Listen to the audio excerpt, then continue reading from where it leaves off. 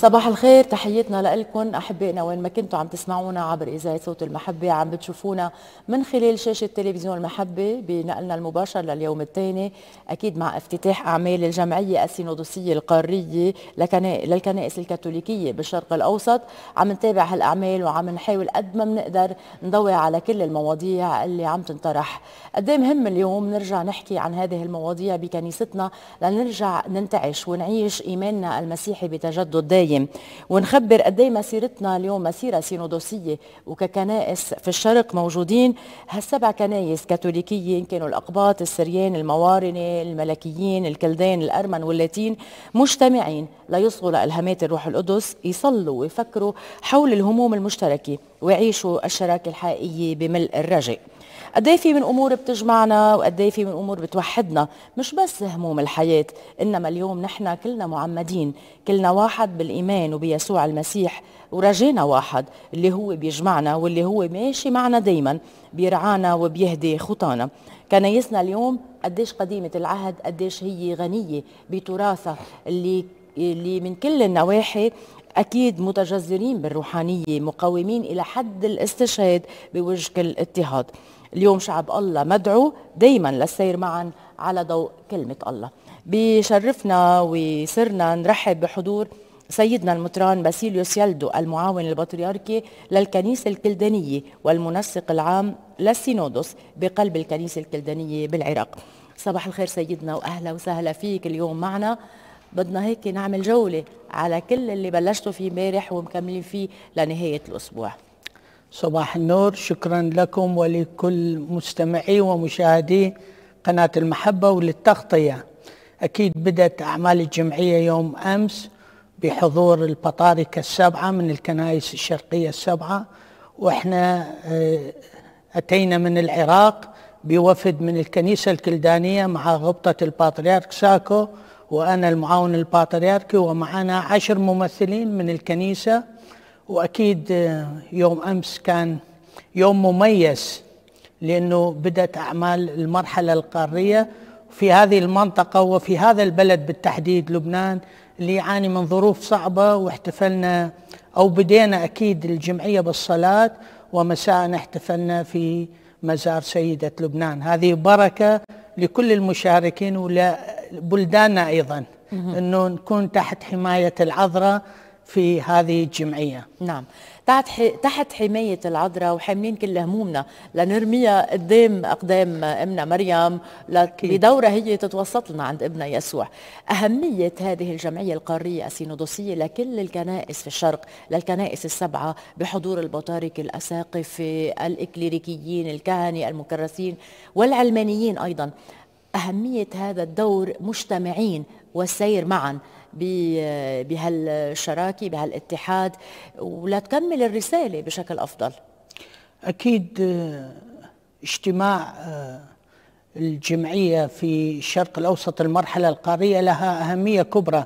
لأنه مثل ما تعرفين ست قارات بالعالم والشرق الأوسط اعتبروه قارة. قارة واحدة. هذا يعطي أهمية ودلالة كلش كبيرة للشرق الأوسط في العالم مدى أهميته وخصوصا المسيحيين الموجودين بالشرق الأوسط.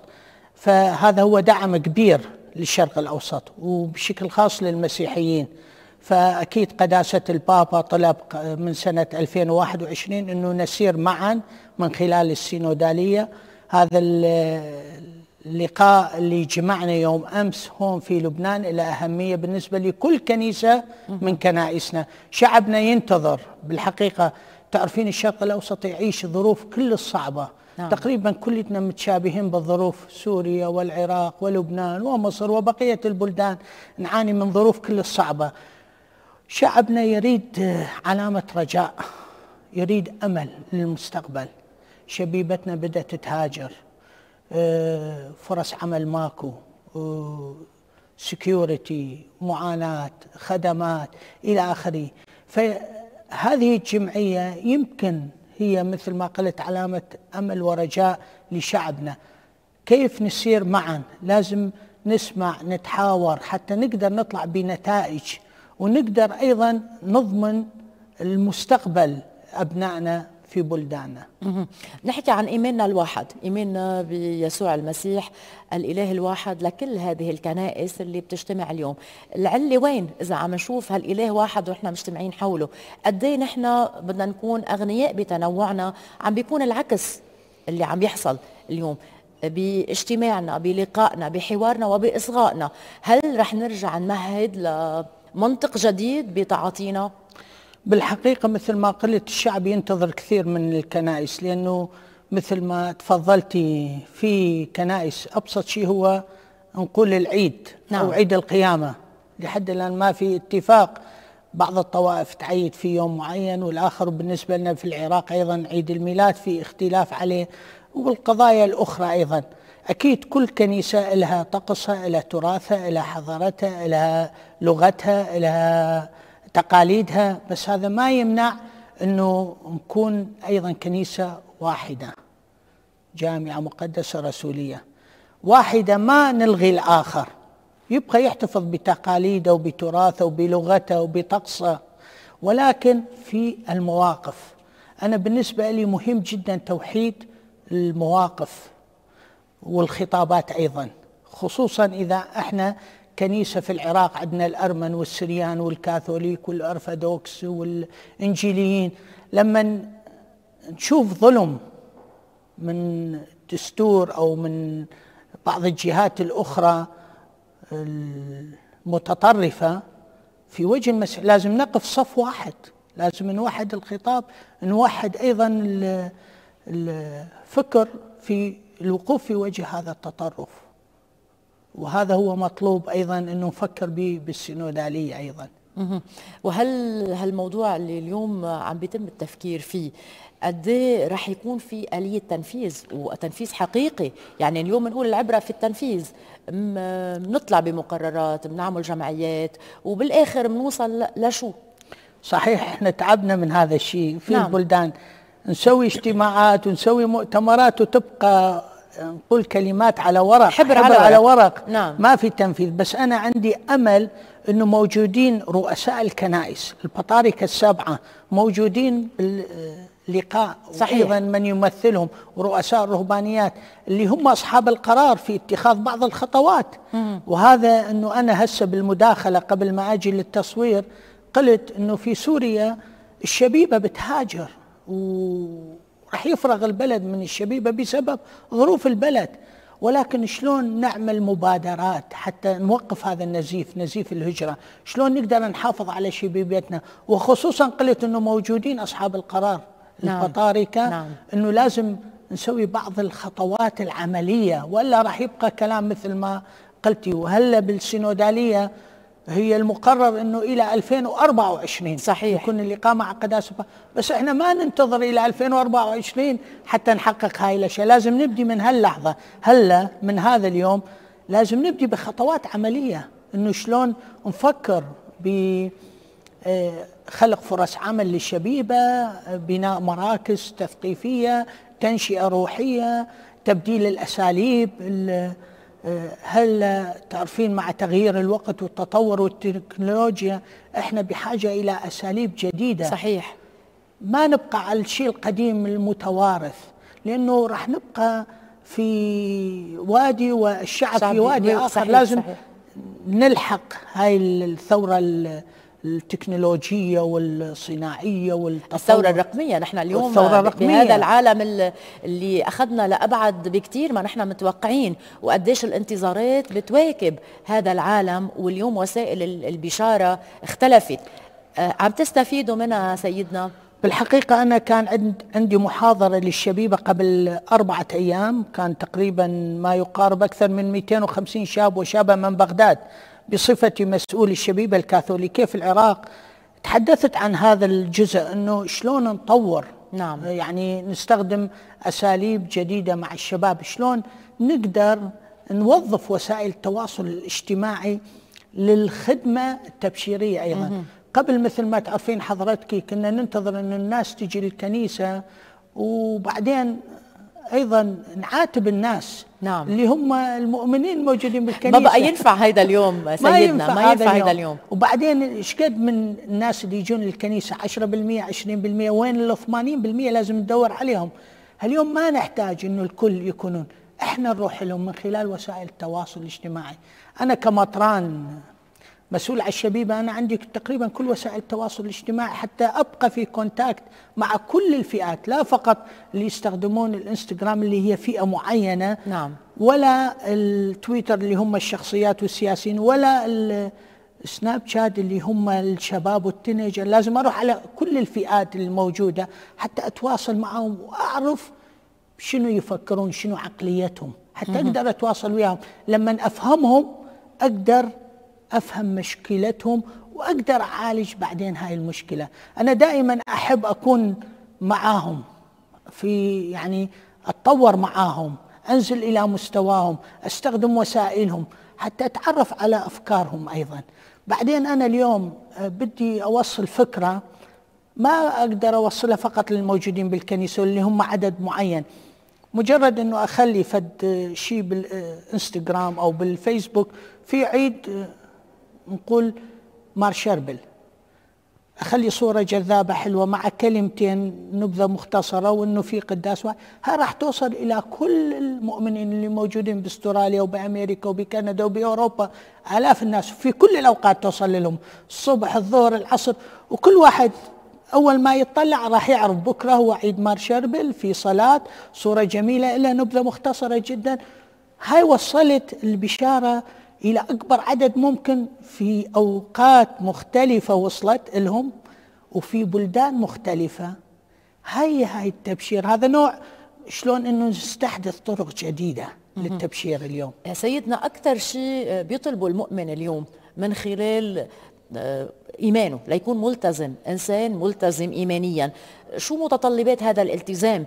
حقيقة وعيش يعني لاهوت المعاش كيف بده كيف بده يمشي فيه؟ وعلى أي أسس؟ واليوم كرعاة موجودين بالكنيسة ماذا تقدمون لهؤلاء المؤمنين؟ أكيد الكتاب المقدس هو الأساس. نعم. أنه نعيش كلمات يسوع المسيح. ممكن بعض الكهنة يكرزون أو يعظون بس ما يطبقون. بس إحنا ما نمشي على هذا لأن هذا في نهاية الأمر بشر في عنده أخطاء. ولكن يسوع هو مثالنا دائما. نعطي للشباب المثال هو يسوع والكلمات الكتاب المقدس هي الكلمات المعاشة. بس نحاول قدر الإمكان نساعدهم على تطبيق العيش عيش هذه الكلمات. قد من السهل فهم الكلمة؟ كلمة الله يعني اليوم هي لكل الناس هي لشعب الله المنتشر بكل أصقاع العالم. أكيد هي لكل الناس. بس كم واحد يتجاوب مع هذه الكلمة؟ هون السؤال. كم واحد يفهم هذه الكلمة فيحتاج إلى أساليب جديدة حتى نوصل هاي الكلمة ونفهم هاي الكلمة حتى يستطيع تعاش. السينودالية هي بالبداية الإصغاء. نعم. حتى نقدر نسير معا. وبعدين التمييز. بعد ما نصغي ونفهم نميز. هذه كلمة الله هذه ما كلمة الله كلمة إنسان وهكذا. نعم. أهمية التنشئة بالمعاهد الروحية اليوم؟ اللاهوتية بالحقيقة إحنا نعطيها أهمية كلش كثيرة في كنيسة الكلدانية في العراق. هلا خلقنا برنامج مع البطريرك ساكو التنشئة المستدامة لكل كليروس في الكنيسة الكلدانية. نجتمع أقله مرتين بالسنة كل الكهنة من كل بريشيات العراق. يعني عندنا ثمان بريشيات في العراق نجتمع مرتين بالسنة على التنشئة المستدامة. نعمل موضوع روحي وموضوع ثقافي. موضوع يكون مع متطلبات العصر مثلا التحرش الجنسي أو وسائل التواصل أو الحالة النفسية اللي يعيشوها الناس وإلى آخره. ونجيب مختصين أيضا في هذه المجالات حتى يطلعون الابديت حتى يصير. وبعدين أيضا الأشياء الروحية يحتاج تنشئة. إحنا نعيش ظروف كلها صعبة. نحتاج روحية قوية حتى نقدر نواجه التحديات اللي في عم تواجهنا اليوم. نعم. يعني اليوم الكنيسة الكلدانية وكنيسة العراق بشكل خاص عانت ما عانته وبعدها المعاناة مكملة ومع كل شعوب هالشرق الأوسط بلدان الشرق الأوسط. قد إيه اليوم الإيمان هو مصدر قوة ورجاء لنقدر نكمل بمقاومة كل هذه التحديات اللي ذكرتها سيدنا؟ صحيح. أنا دا أقول, أقول دائما الإنسان لما يكون ممتلئ من الإيمان يكون قوي يكون شجاع يقدر يعطي. ولكن الإنسان لما يخلص أو يفرغ هذا الإيمان ما يقدر ينطي بعد كل شيء لأن هو أصلا فارغ فاقد الشيء لا يعطيه. صحيح. فلكن إحنا نكون لازم ممتلئين من هذا الإيمان. حتى نقدر فعلا نواجه حتى نقدر فعلا نقاوم نستمر في خدمتنا ومسيرتنا. يعني هيدي الأمور اليوم للشباب ولكل العالم. البابا فرانسيس قداسه البابا فرانسيس بيطلب الكنيسة تتجدد وتعيد شبابها. قد إيه عنصر الشباب مهم وأساسي اليوم بقلب الكنيسة؟ وباعمال الجمعية السينودوسية في كثير عنصر شباب أيضا. إحنا مشاركين عشر أشخاص من الكنيسة الكلدانية في هذا اللقاء. نعم. خمسة منهم شباب تقريبا النصف. لأنه نركز على الشبيبة لأن الشبيبة هم مستقبل الكنيسة وهم يحملون الأفكار وهم أيضا اللي يغيرون المجتمع. تشوفين إحنا عندنا بالعراق صارت مظاهرات كثيرة لتبديل الحكم ول آه، ضد الظلم اللي موجود بالبلد. الشبيبة أكثريتهم كانوا الشباب اللي يقدرون يطلعون واللي يقدرون يغيرون هذا الواقع هم الشباب.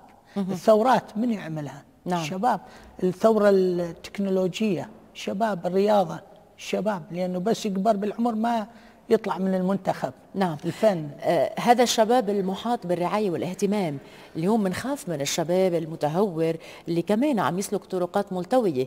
قديش آه آه ملحوظ هذا الشق وقديش عم يعطى عناية من قبل الكنيسة لجمع هالشباب وإعادة حضنهم ورعايتهم. إحنا بالحقيقة في العراق نشكر الله شبيبتنا كثير ملتزمين بالكنيسة وهذه بشهادة بطاركة الشرق الأوسط اللي حضروا إلى العراق في 2018 صار لقاء بطاركة شرك في بغداد. فضمن البرنامج كان كل لقاء مع الشبيبة يحكون خبراتهم في كاتدرائية مار يوسف في بغداد. مملوءة كانت كاتدرائية تقريبا 300 400 شاب وشابة.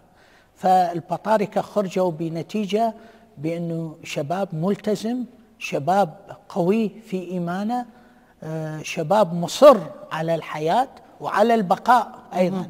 نعم. ما سهل يعني عامل الصمود أساسي اليوم. إيه؟ لا يصمد الإنسان بوجه بوجه هذا الظلم وهالتحديات الكبيرة مش شغلة سهلة. أكيد. تشوفيه يتخرج من الجامعة وما عنده, ما عنده شغل. شغل. أربع سنوات في الجامعة يقضيها وما ما في تعيين ما في تعيين. كثير من الشباب بيشتغلوا سائق تاكسي أو خدمات يقدمون بسيطة وشهاداتهم هي كبرى. بس مع ذلك تشوفهم باقين في البلد. هذا أيضا نوع من الإصرار للبقاء الوجود المسيحي. إحنا كثير ككنيسة نحاول نواكب نحاول قدر الإمكان نساعدهم في التعيينات نساعدهم في إيجاد فرص العالم. العمل. نساعدهم أيضا في الثبات في هذا الإيمان وهذا شيء مهم جدا حتى تقدرين تحافظين على الشبيبة. نعم. بوجودنا بهذا الشرق أقليات مسيحية قد إيه بدنا نسعى لنبقى ونكمل بشهادتنا وحضورنا المسيحي الفاعل. يعني نكون حاملين يسوع وماشيين بين الناس بالرغم من الاختلاف الأديان بالرغم من التطرف اللي كمان بمرحلة من المراحل وبعده مكمل. عم يقضي على ناس كتير وعم بيسقط ضحايا من من جراءه. صحيح إحنا أقلية في العراق كمسيحيين ما مثل لبنان. يعني بعدها الكنيسة المارونية فيها عدد كبير من المسيحيين وفي مصر في الأقباط أيضا عندهم عدد كبير. في العراق إحنا أقل من واحد بالمئة تسعة وتسعين مسلمين وواحد بالمئة إحنا الأقليات في العراق. لكن هذا الواحد بالمئة عنده حضور كلش كبير بالعراق وعنده بصمة أيضا في العراق. تشوفين الطبقة النخبة المثقفة المبدعين مسيحيين عندنا في كل المجالات. عندنا في كرة القدم في الفن رغم العدد القليل تشوفين الأطباء المهندسين الموسيقيين الأكاديميين مسيحيين وبعدين المسيحيين معروفين أمام كل البلد. وبشرق الأوسط نقول بشكل عام معروفين بنزاهتهم ومعروفين محبتهم لبلدهم وهذا الشيء يعرفوه كل زين العراقيين. إحنا لما صارت الانتخابات البرلمانية كل الكتل أو كل الأحزاب كانوا يتمنون يخلون شخص مسيحي نعم. في قائمتهم. نعم. لأن بالنسبة لهم هذا كريدت لأن يعرفون هذا المسيحي إنسان نزيه إنسان أمين إنسان محب لبلده. ما عندنا التعصب أو ما عندنا العنف اللي موجود. المسيحيين مسالمين بطبيعة حالهم. فهذا ينطي آه، دور وأهمية للوجود المسيحي. ولهذا هم لما يصير في العراق هدم كنيسة المسلمين يهبون إنه إحنا ضد هدم هذه الكنيسة لأن عشنا معاهم سنين في تقارب في محبة وفي تعايش سلمي. وبالحقيقة إحنا رغم قلة العدد بس عندنا علاقات مع الكل. هيدا اليوم نحكي عنه بالحوار والانفتاح على بقية الأديان. قد إيه الشغلة كمان بتتعزز من داخل الكنيسة ومن قلب الجماعات المسيحية ومن القاعدة الشعبية. يعني بنحكي عن القاعدة الشعبية وبنحكي عن عنصر الشباب بشكل خاص. صحيح. إحنا في زيارة قداسة البابا إلى العراق سنة 2021 كنت أنا المنسق العام للزيارة. فسيدنا ساكو اقترح على الزيارة إنه قداسة البابا يزور المرجع الأعلى للشيعة في العراق السيد السيستاني في النجف. كثير أصرينا على هذه الزيارة لأنه البابا هو ما فقط للمسيحيين هو جاي يزور كل العراق وبالحقيقة أعطت صدى كلش كبير. هذه هذا اللقاء بين قداسة البابا والمرجع الأعلى للشيعة السيد السيستاني بدأت كل وسائل الإعلام تتحدث وخرج قداسة بابا بانطباع كلش جميل عن هذا اللقاء. ولحد الآن يذكروه بالعراق هذا اللقاء ويعتبر بالنسبة لهم من أهم محطات زيارة قداسة بابا لحد هذا اليوم واللي عمل تغيير كثير في عقلية الشعب العراقي وخاصة المسلمين. المسلمين قبل ما كانوا يعرفون كثير عن المسيحيين. هلأ بيعرفون شنو البابا شنو البطريرك شنو الأسقف شنو الكاهن؟ قبل كلنا يقولون بابا. على أي كاهن يقولون اجى البابا؟ نعم. هيدي اليوم هيدي بتريح سمة مش عاطلة. يكون الإنسان عم بيفكر إنه هذا هو الأب هذا هو الأب الراعي اللي صحيح. عم بيتابع رعيته عم بيكون منفتح على الكل وقادر على الإصغاء لهموم الناس. بعدين هم شافوا تواضع البابا. يقف الناس بالسيارة يقف يسلم عليهم. شافوا محبة البابا لكل العراقيين. هذا كثير أثر. أثر بالناس بالنسبة إلى مسؤوليهم. ما يقدرون يوصلون لهم. يشوفون هذا اللي معاه مليارات من العالم بيقف بيسلم عليهم وبيضحك. شافوا ابتسامته وشافوا تواضعه. هذا أثر كثير كثير أثر. يعني هيدي الأمور هي رساله كانت. هيدي بتفرح بالعكس هيدي بتفرح وبتدل قد إيه الإنسان المسيحي إنسان منفتح وقادر على الوصول والتواصل مع بقية الأديان المحيطة فيه. آه، سيدنا قبل ما نختم نحن وياك انتظاراتك من هذا من هذه الجمعية السينودوسية؟ مثل ما بشكل خاص. أكيد مثل ما قلنا بالبداية أنه يكون أكو مبادرات. يعني إنه نبدي من من هاللحظة نبدي نبدي بالعمل حتى نقدر نكمل المسيرة. ويكون أيضا قرارات من أصحاب الغبطة في الوضع هلا تعرفين كل صعب. صحيح. هلا تعرض سوريا وتركيا إلى زلزال بحاجة إلى المعونات والمساعدات. هذا الشيء فورا. ولكن أيضا لازم نبدي بخطوات أخرى. إنه شلون نوقف نزيف الهجرة؟ شلون نحافظ على المؤمنين المتبقين في الشرق الأوسط وجودهم ضروري جدا. ماكو شرق أوسط قال البابا بدون مسيحيين. ولهذا إحنا الاملي إنه نخرج من هاي الجمعية بمقترحات عملية ونطبقها على الواقع. هيدا اللي بنتمناه وبدنا نشكرك على حضورك. سيدنا باسيليوس يلدو المعاون البطريركي للكنيسة الكلدانية والمنسق العام للسينودوس بقلب الكنيسة الكلدانية بالعراق. شكرا وبالتوفيق. شكرا على حضوركم. وأكيد فرحت بهذا اللقاء وإن شاء الله لقاءات بالمستقبل أكثر. إن شاء الله يا رب. شكرا من. جديد على حضورك. السلامة. احبائنا فاصل ومنتابع نحن وياكم من بعده مع بقية ضيوفنا بهالفقرة المباشرة من بيت عنيا بحارسه